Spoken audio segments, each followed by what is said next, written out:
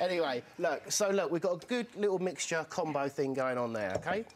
A touch of oil goes into the bowl with those ingredients, give everything a good shake up. Now, this is where you have the oven on 200 degrees, quite high heat, yeah? Okay. And I heat up my tray beforehand. I'm cheating, look, I've got one on the hob now. But it, it- the idea is you can use a thick, tr- a deep tray or a shallow tray, whatever you want, and it's just that initial start of the cookery. So on it goes. I've got a flat um, hob though. Can I do that with that? Can I put one of those on it?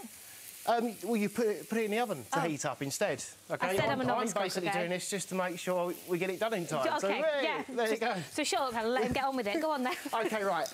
Two tongs, one for raw, one for cooked. I washed my hands, remember, and I didn't touch anything else. But we're going to make sure that this gets starting to get that hot oil to coat the vegetables. Obviously, it brings out the flavour and colour, yeah? Yeah. Right, now, in this instance, we grab the pork chops, lay them straight on top. Your oven is roasting hot, yeah? High, high temperature, like I said, 200 degrees. Hot tray, in it goes. Now, depending on the thickness of your pork chops, it's going to take about 20 to 30 minutes.